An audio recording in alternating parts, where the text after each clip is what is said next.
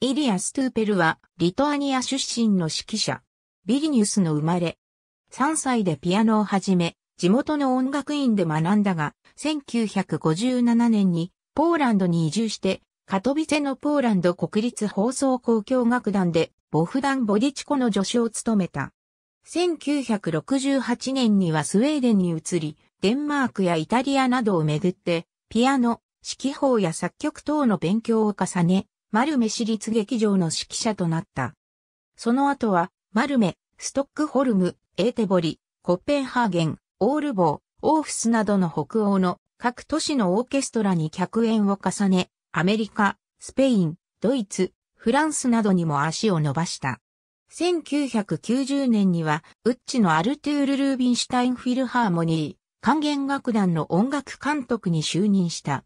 1948年生まれと記述する資料もある。ダナコード DK。ありがとうございます。